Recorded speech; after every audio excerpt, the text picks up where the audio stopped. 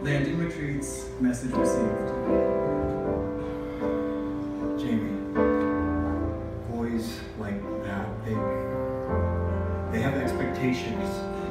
Daddy, we've been through this conversation. Please don't make me sit through it again. No, no, no, the rules aren't going to change.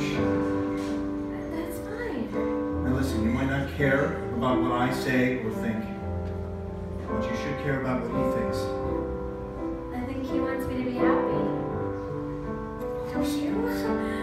Course I think that. uh, Of course I want you to be happy, Jamie. And I, I can only imagine what your mother, Lord rest her soul, would say if she were with us. Do you remember the first time you saw her? I may be getting older, but I'll never forget that feeling.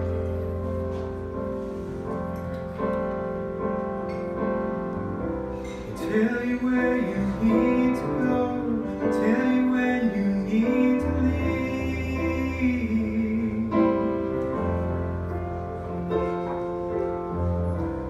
tell you what you need to know. Tell you who you need to be.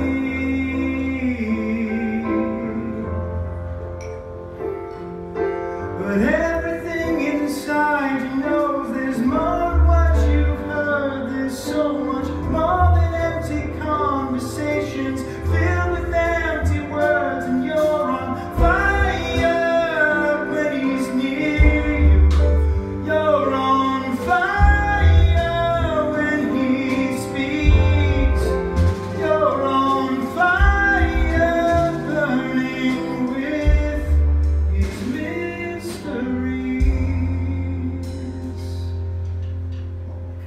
Home by 10 sharp, okay?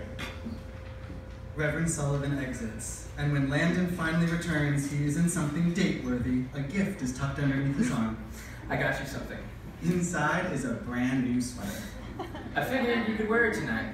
Oh, not that there's anything wrong with your old one. No, I love it.